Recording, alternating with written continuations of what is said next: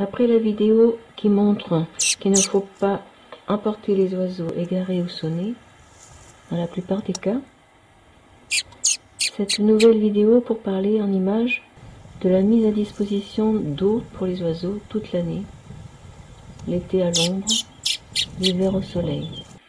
Pendant que je parle, vous voyez ce que j'ai fait l'année dernière sur un terrain non utilisé. J'ai pu filmer un rouge-queue à front blanc.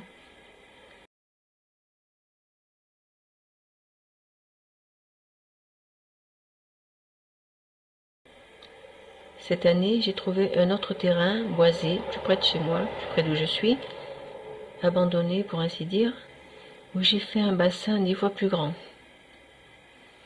Car en été, je n'ai ni terrain ni balcon.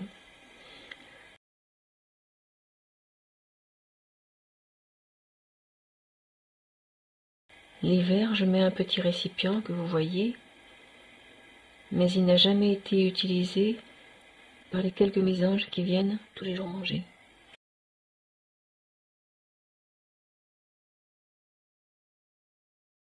À quoi ça sert de leur donner de l'eau?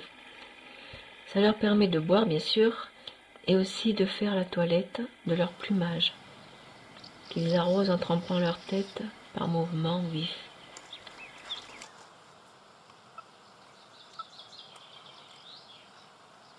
Mais il est très important qu'ils puissent se nettoyer en hiver aussi.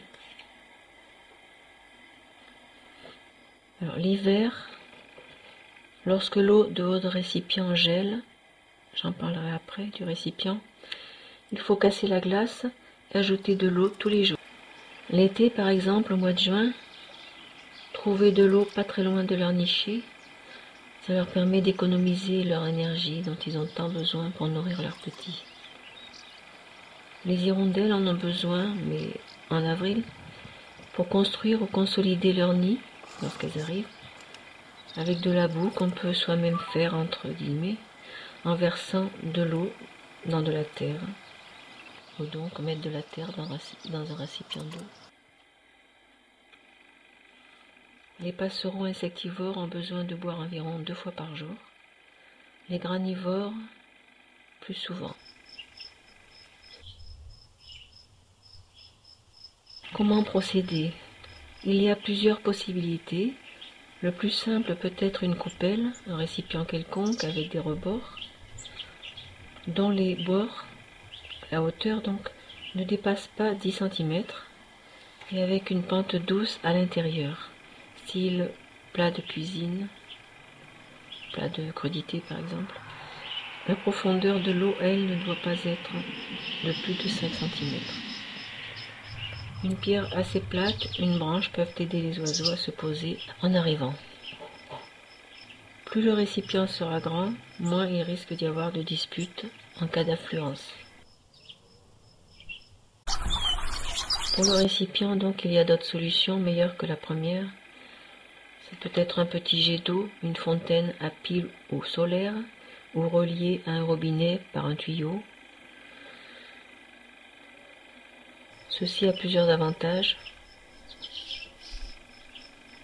En tout cas, ça évite que l'eau stagne et ça la rend de meilleure qualité en conséquence. Où mettre le point d'eau? Dans un jardin, l'endroit doit leur permettre une bonne visibilité qui les rassure, les sécurise, leur permet de voir venir un prédateur éventuel. Au sol de préférence, c'est plus naturel pour eux. Alors s'il y a des chats, les vôtres ou ceux des voisins ou des chats errants, ne pas le mettre par terre, c'est évident, mais plutôt sur un rebord de fenêtre par exemple. Faire plusieurs essais de lieux pour voir quel est le mieux adapté, le plus sécurisé. Les arbres ou un mur haut pas très loin du point d'eau doit permettre aux oiseaux de se lisser les plumes après un bain. Pour plus de détails, je vous invite à aller voir le site Ornithomédia avec le lien que j'ai mis. Je l'indique dans la description sous la vidéo.